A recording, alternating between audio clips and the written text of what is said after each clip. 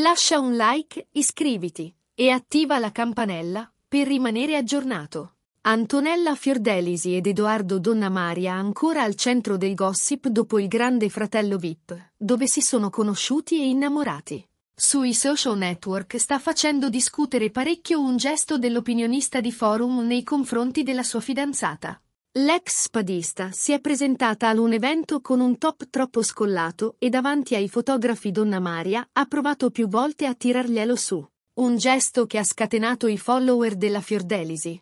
In posa per le foto Donna Maria, che aveva il braccio attorno alle spalle di Antonella, ha alzato il top della 25enne mentre lei ha tentato inutilmente di abbassarlo, per mettere in mostra la scollatura. Al suo posto le avrei letteralmente uscite ha scritto qualcuno sui social network. Antonella, ribellati, è l'invito di parecchi sostenitori della coppia Donnalisi.